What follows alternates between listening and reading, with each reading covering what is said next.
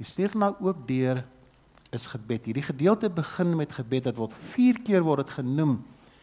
En en en en ek doen dit na aanleiding van van die die die die blok wat uh, wat wat Sean aan my voorgehou het rondom die fokus op gebed.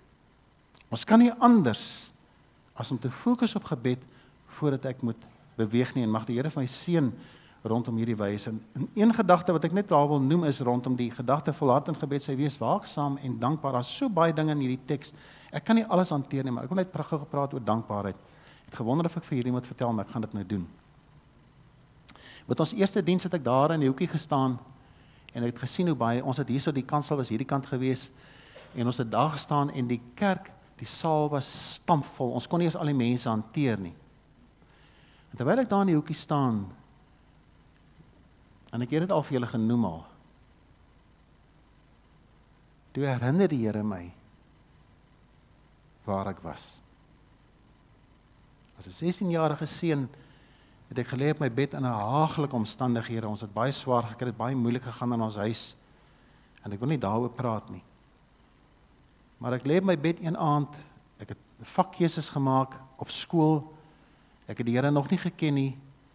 En ek lê daar en vir 'n oomblik gryp 'n benoudheid my aan en sê wat wat gaan van my word? In die omstandighede waarin ons nou is, is daar geen hoop gewees nie. Niks. Ek het nie kans gesien vir die dag van môre nie. Sê wat gaan van my word?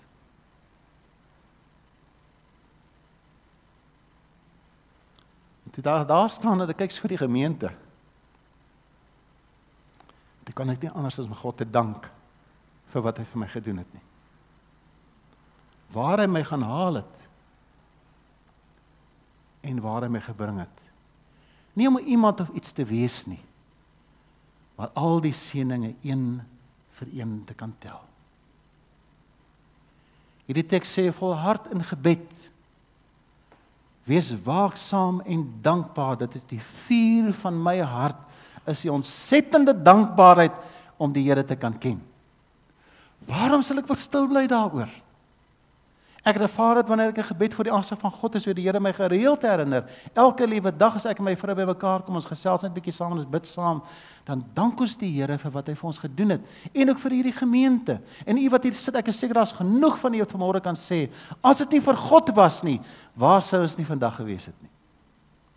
Ek kan mos nie anders as om te begin praat nie. En daarom praat hy in hierdie gedeelte, hy sê bid vir mense. Hy praat eers bid persoonlik vir my.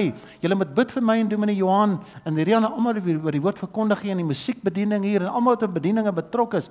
Bid vir ons. Dit maak ons gefokus van die rigting waarin ons beweeg. En jy sien gebed is 'n baie persoonlike saak waarin ek my hart uitroep en sê Here leer my om die mense rondom my net raak te sien. Ek het julle al vertel van die vrou, die juffrou Hulle kon nie verstaan in die Christenskool elke jaar kom haar 20 kinders wat sy daar en elke jaar sy nuwe kinders en aan die einde van die jaar is is al drie die kinders kom tot bekering. Hulle kon nie verstaan hoe is dit moontlik dat dit so is nie. In baie Christenskole kom jy in elk geval nie almal tot bekering nie, maar hierdie klas is spesifiek al 20 daai kinders kom tot bekering.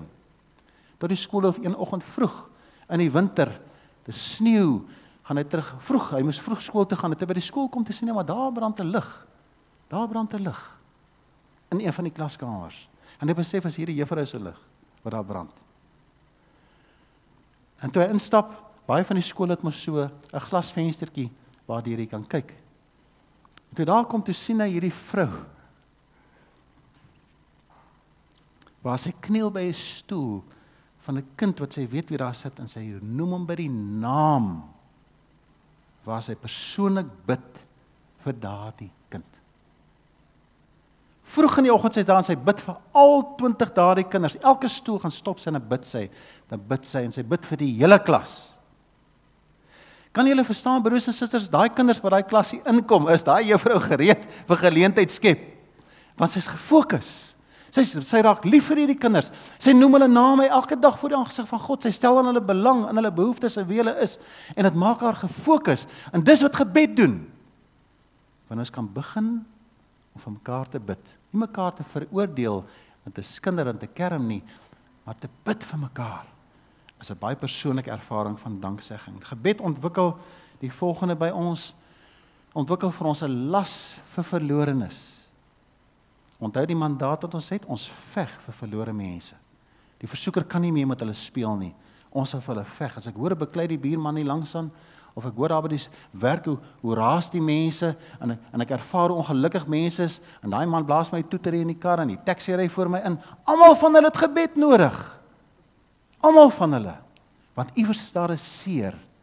Iewers daar 'n verhouding wat aandag nodig het en ons bid vir hulle. So dit maak my my my my gefokus vir verloornis. Gebed help my om mense raak te sien. Uh, daar was so 'n gesprek gewees op RSG in hierdie week dink ek wat nou verby is oor hoe dat ons met 'n geweldige emosionele en en geestelike ellende sit na die COVID tyd en ook natuurlik wat daarna gevolg het mense wat hulle werk verloor en hoe mense geweldige plaag was. En hier hier, hier help die Here vir ons en hy sê hy sê vir ons gaan heen.